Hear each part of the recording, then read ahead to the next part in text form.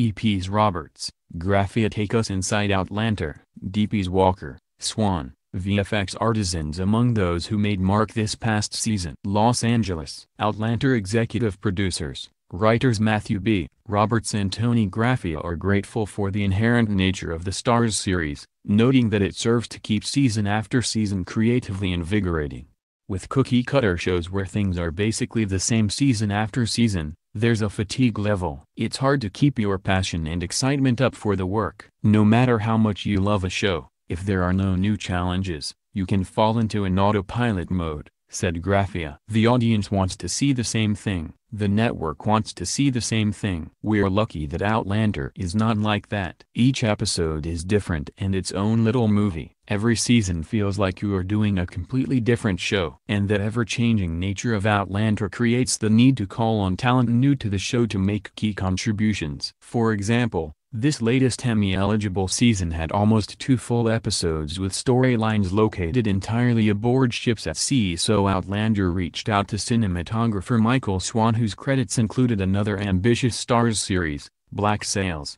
Swan's work on the fraught with ships show Black Sails carried with it a depth of experience on water, and with the gimbals and effects need to suspend nautical disbelief.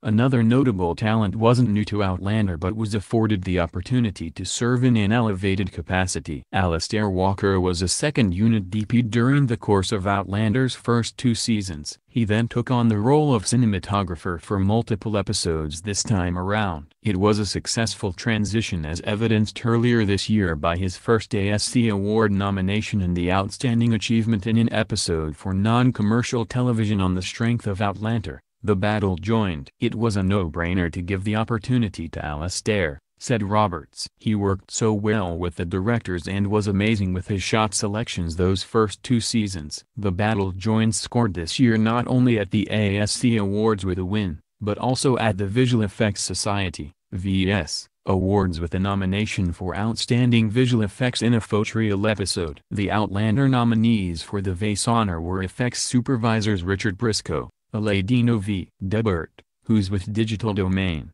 and Doug Hardy, VFX artist Philippe Orbi and co-producer Alicia Bissett. A separate challenge, settling into the director's chair. Perhaps the biggest Outlander storyline hurdle to clear this past season was properly dealing with the physical separation of Jamie Fraser, portrayed by Sam Heughan, and Claire Randall, Caitriona Balfe.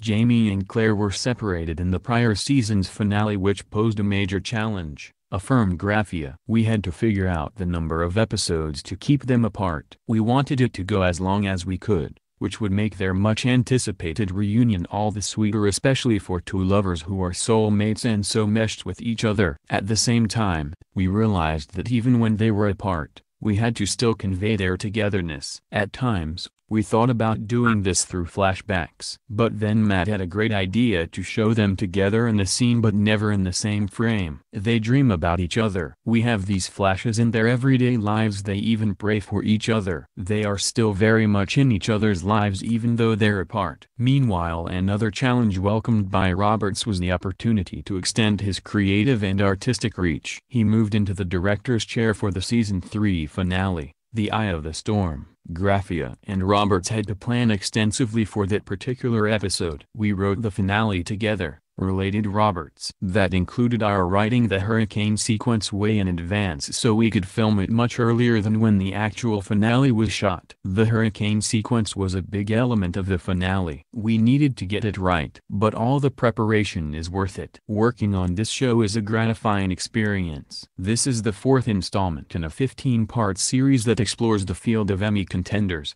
and then nominees spanning such disciplines as directing, cinematography, producing, editing, music, production design and visual effects. The series would then be followed up by coverage of the Creative Arts Emmy ceremonies on September 8th and 9th, and the Primetime Emmy Awards live telecast on September 17th.